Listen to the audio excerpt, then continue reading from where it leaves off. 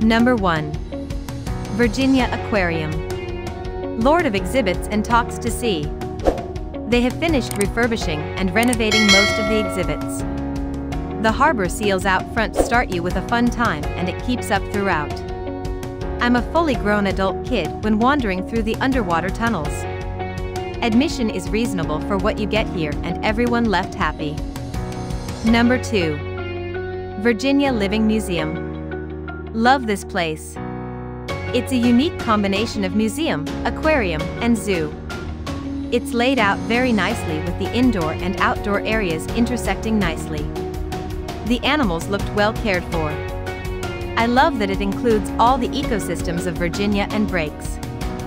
Number 3. Virginia Zoo. A wonderful morning walking around the Virginia Zoo and it wasn't crowded at all. We had the best time watching the new baby giraffe having the zoom eyes.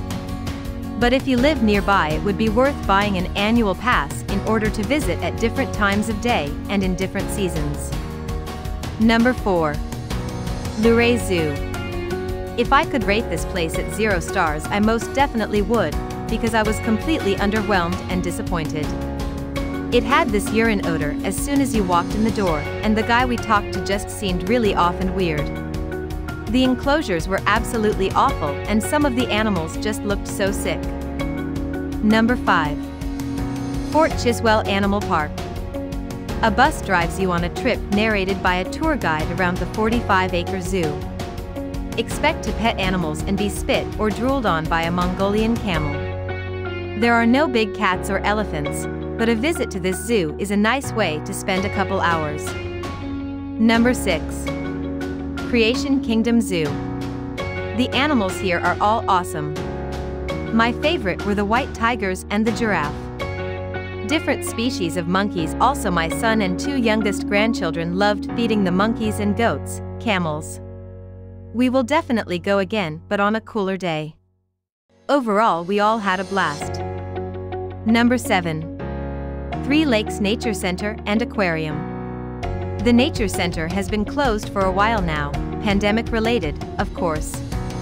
Often, after getting there, folks make a beeline for the large deck slash platform that adjoins the Nature Center. There is a huge population of turtles. Number 8. Roer Zoofari. I have been going to this animal park for 30 plus years and love taking visitors there. We always get a kick out of the baby goats. Most recently, I signed up for the cheetah experience, and it was exceptional. Talk about close-up photos. Number 9. Mill Mountain Zoo. This zoo is small, but children will like it. The collection includes a rare snow leopard. Also be on the lookout for unreal animals around the grounds, that is, artists' renditions of different types of wildlife.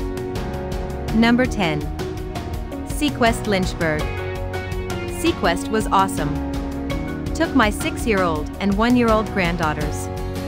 The 6-year-old loves it especially. She held a python, fed several animals, fed birds three times, fed fish and petted stingrays. The workers were great and helpful. Hope you like this video for more videos please subscribe to our channel.